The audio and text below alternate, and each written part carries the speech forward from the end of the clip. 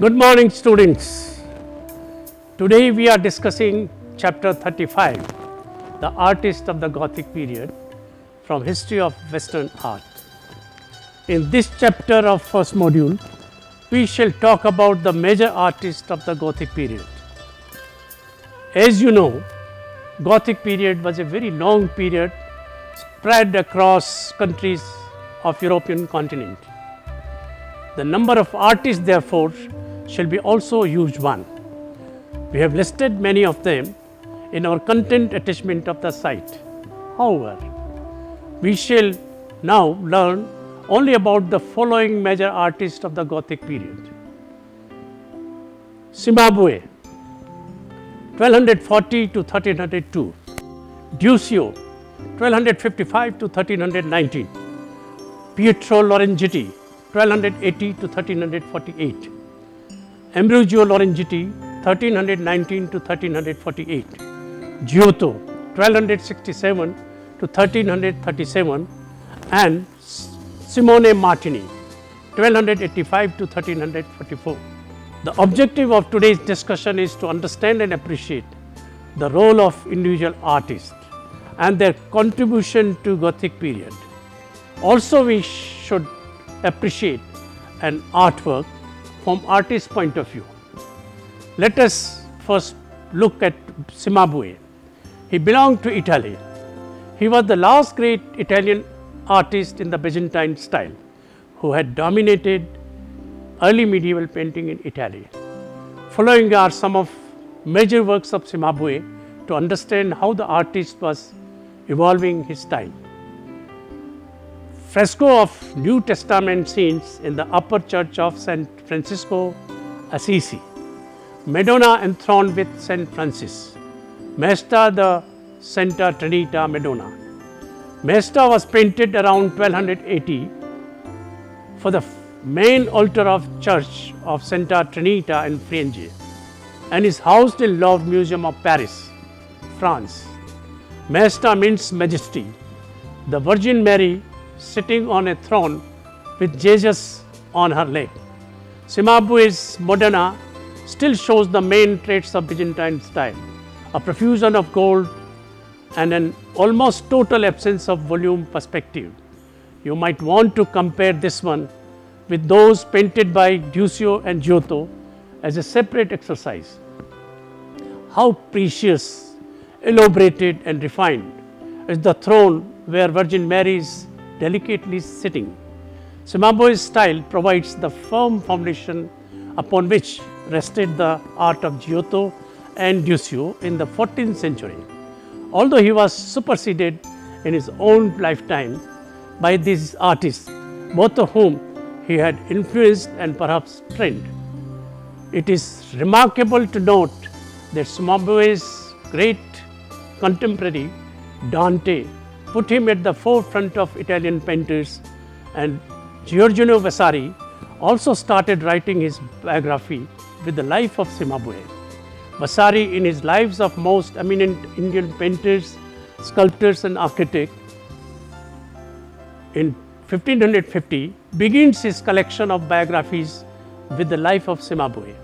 His, the art historiographers from the 14th century to the present have recognized the art and career of Cimabue as the dividing line between the old and the new pictorial traditions in the Western European art. Cimabue seems to have been among the first to return to a close observation of nature. Let us look at the picture 4, the four evangelists painted between 1272 and 1302.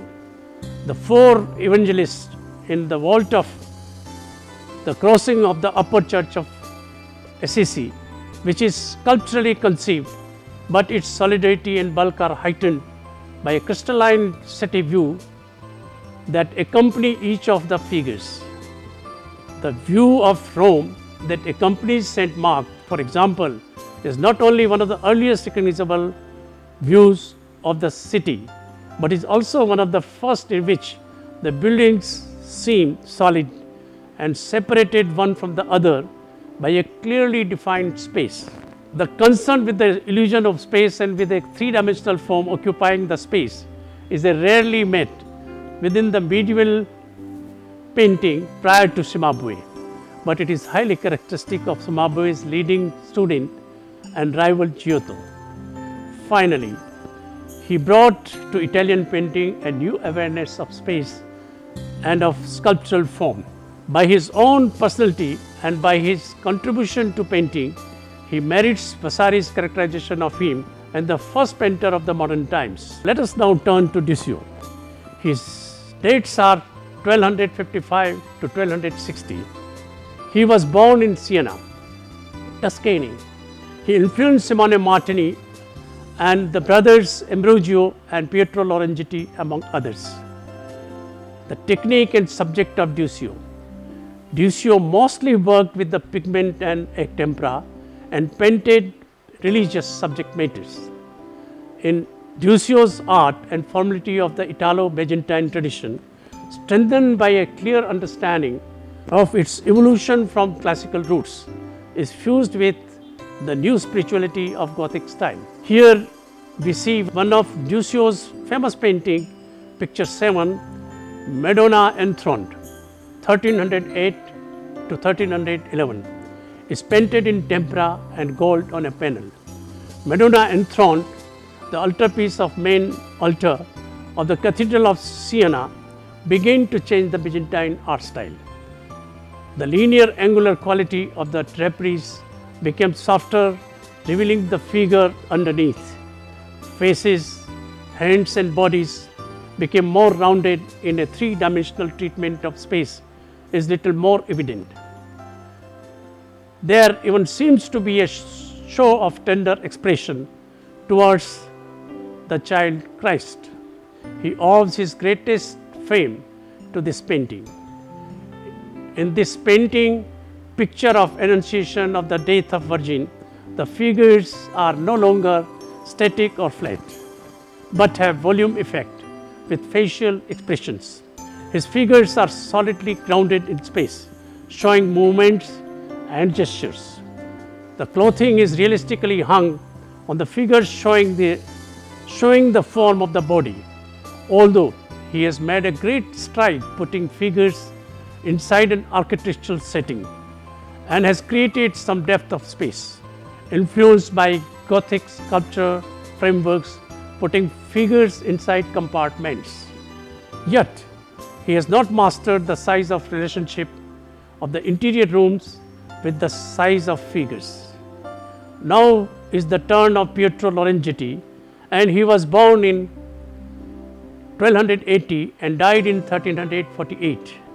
One of the early members of the Sienese school of painting, Lorenzetti, along with his younger brother Ambrogio, introduced naturalism into Sienese art in their artistry and experiments with three-dimensional and spatial arrangements, the brothers foreshadowed the art of Renaissance. Let us now see picture number 9, the details of the fresco of Basilica of Saint Francisco de Assisi, 1330 to 1340. This masterwork is a fresco decoration of the lower church of Basilica of San Francisco de Assisi, where he painted a series of 17 large scenes depicting crucifixion, deposition from the cross, and entombment. The mass figures in these pieces display emotional interactions. Unlike many prior depictions which appeared to be iconic agglomerations, as if independent figures had been glued on to a surface with no compelling relationship to one another. The narrative influence of Giotto's frescoes in the Bardi and Peruzzi chapels in Santa Croce, Florence, and the Arena Chapel, Padua, can be seen in these and other works of the Lord Church by the Lorenzetti brothers and their contemporary competitor from Florence, Giotto but also his followers Bernardo Daddi and Maso di Banco seeded the Italian pictorial revolution that extracted figures from gilded either of Byzantine iconography into pictorial worlds of the towns, land and air. Sienese iconography generally more mystical and fantastic than that of more naturalistic Florentines, sometimes resemble a modern surrealist landscape. Let us see now Last Supper of Assisi frescoes painted in 1330 to 1340. Perhaps Lorenzetti's most ambitious work is the Passion fresco cycle in the left transept of the lower church of San Francisco in Assisi. These 17 well preserved frescoes, the high point of his early career, show the influence of Giotto's monumentality. The impulse of Pisano, 13th century expressionism, and the teaching of now see picture number 11 birth of virgin triptych by pietro lorenzetti. Birth of virgin was the third painting in a series completed for sienese cathedral beginning with duccio's maesta including simone martini's annunciation the use of spatial illusion vertical columns and bed frame running parallel to the picture Vaulted ceilings adds dimension to the rooms. Depth is further generated in the left panel of the triptych. As the viewer peers outside the waiting room to see nearby building. Duccio, Simone and Lorenzetti were all members of Sienese school. In contrast to Duccio's regal depiction of Virgin in the Maesta, Simone's Annunciation with a scene that appears supernatural. The birth of the Virgin is notable for Lorenzetti's representation of the Virgin in corporeal setting. In this scene, a bath is being poured on a Virgin. Midwives attend Saint Anne, who lounges on a plaid blanket, who lounges on a plaid blanket covered bed, and an expectant father awaits news of the birth. The figures are modeled and solid. Although the holy persons are signified with crowns of light, they appear otherwise terrestrial. If not for their crown of light and St. Anne's unnaturally large body, this painting could be interpreted as a genre painting depicting the everyday lives of the ordinary people. If one compares this intimate household scene adorned with richly colored textiles to the gold groundwork that creates an otherworldly effect in Simone's Annunciation. One quickly notices that Lorenzetti has created a more accessible Virgin. Perhaps one of the most extraordinary qualities of the birth of the Virgin is his use of spatial illusion. He creates a seamless architectural world with the integration of the frame and picture plane. The vertical columns and the bed frame running parallel to the picture plane creates a planar composition. In addition, Pietro's rendering of the vaulted ceiling adds dimension to the rooms and closes this intimate scene. Depth is further generated in the left panel of the triptych. As the viewer peers outside the waiting room to see a nearby building, as Hyman affirms, birth of the Virgin reads both as triptych as a deep and unified space, the most convincing interior space of the entire 14th century. Let us now look at Giotto, 1267 to 1337. He was an Italian painter and architect from Florentine. In the late Middle Ages, he generally considered the first in a line of great artists who contributed to the Italian Renaissance. Here we see magnified life statue of Giotto outside the Uffizi. Giotto may very well have been the first painter succeeding in creating unified compositions there is unity between the figures and their surroundings and unity among the figures interacting as they do through gesture and emotion. Let us look at the painting of the Scrovegni Chapel in Padua, the Arena Chapel. Giotto imbued his figures with personality, tried to give expression to their faces and bearing. As is clearly visible from his major work, the frescoes in the Scrovegni Chapel in Padua. Now we see picture 14, scenes from the life of Christ, Lamentation, the morning of Christ, painted between 1304 to 1306. Giotto chose to paint his subjects, the overwhelming majority of which were religious figures, in a solid and classicizing way, reminiscent of Arnolfo di Cambio. Indeed, his masterpiece, the Scrovegni Chapel, is evidence of as much. They are solidly three dimensional, have faces and gestures that are based on close observation and are clothed not in swirling formalized drapery, but in garments that hang naturally and have both form and weight. He also took bold steps in foreshortening and with having character face inwards, with their backs towards the observer creating the illusion of space. The figures occupy compressed settings with naturalistic elements, often using forced perspective devices so that they resemble stage sets. This similarity is increased by Giotto's careful arrangement of figures in such a way that the viewer appears to have particular place and even an involvement in many of the scenes. As Giotto grew older, his subjects remained consistently religious in nature, but his style continued to mature. Towards the end of his life, he was commissioned to paint the Santa Croce chapels, became especially renowned during Renaissance times for Giotto's ingenious use of chiaroscuro and his masterful manipulation of perspective. Now we discuss the art of Simone Martini, 1285 to 1344, who was an important member of traditional Siena school of painting.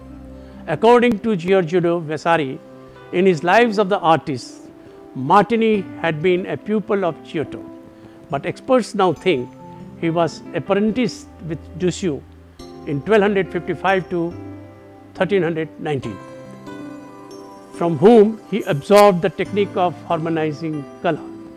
He is specially noted for his Trecento experiments in using time for decorative purposes to such an extent that his mature works are almost abstract compositions. After being entrusted with the Maestà for Siena's town hall in 1315, Martini divided his time between the French kingdom of Naples, Pisa, Orvieto, Siena, Florence and the papal court of Avignon. Martini's masterpieces also include Maestà 1315, Palazzo Pubblico Siena, fresco painting in Chapel of St. Martin, Assisi, Guidoriccio Fogliano, fresco 1328, the Annunciation altarpiece 1313. He was also noted for his style of medieval manuscripts, illuminated he collaborated on number of Gothic illuminated manuscripts, becoming highly influential in his field.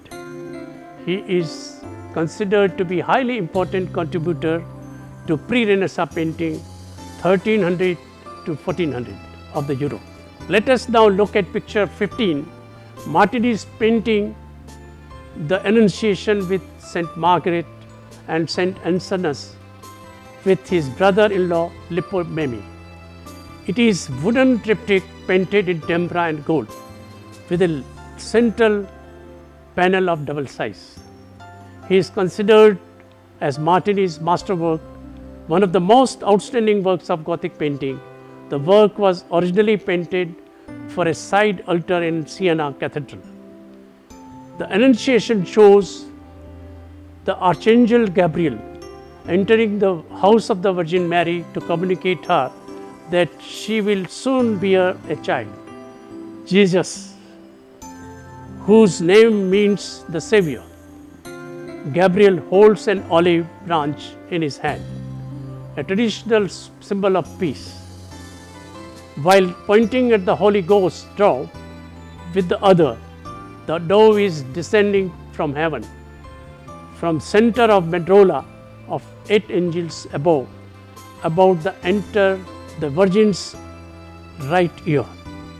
The Virgin sitting of the throne is portrayed at the moment that she is startled out of reading, reacting with the graceful and composed reluctance, looking surprised at the celestial messenger.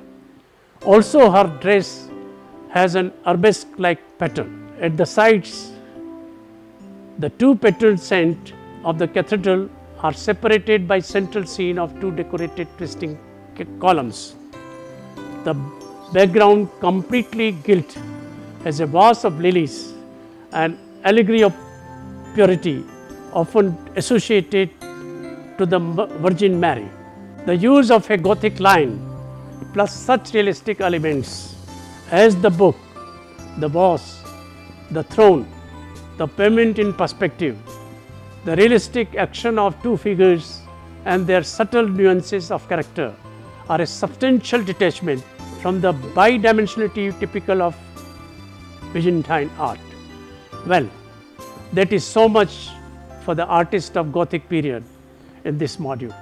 I have tried to cover the major artists and attempted to understand some of their artworks. There is lot more art that has been done by these artists that can and must be learnt. I hope that I have inspired you enough to look into these works of art. Please go through the bibliography and artworks and look at the questions and try answering them. We look forward to more interactions and I will see you in the next module. Thank you.